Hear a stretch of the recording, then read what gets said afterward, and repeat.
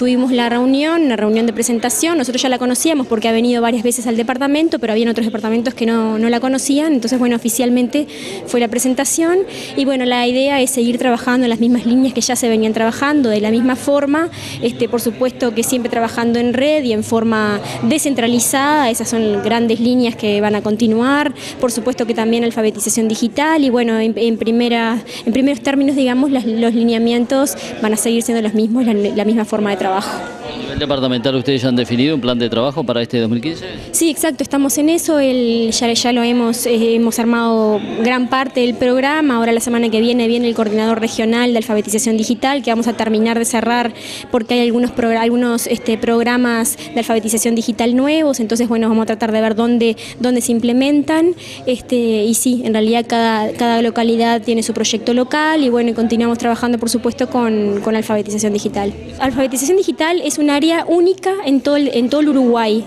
Es un programa que se usa en todos los centros MEC, los 125 centros MEC este, del Uruguay. Eh, después, cada departamento y cada localidad puntual tienen sus objetivos y, su, y, sus y su programación a lo largo del año. Bueno, tenemos té literarios, tenemos este, bicicleteadas, es decir, algunos van por el lado de la salud, por el deporte, otros por el lado de literatura, otros por el lado de la pintura, digamos, cada centro tiene su objetivo. Y también destacar que en esta visita que tuvimos a Montevideo se presentó un libro en formato digital en principio, pero ya va a salir en formato, eh, ya lo van a editar, este, que son 125, X a la 125, digamos, que es la presentación de lo que ha sido todo el proceso de estos ocho años de Centros MEC. Este, bueno, en la presentación estuvo eh, Álvaro García, por ejemplo, estuvo Carolina Cose, que también es un socio importante, ha sido Antel en estos ocho años, y bueno, varias personas expusieron lo que ha sido el trabajo este, visto como por otros ojos de Centros MEC y bueno, y, lo que se destaca es el trabajo en territorio y el trabajo descentralizado en red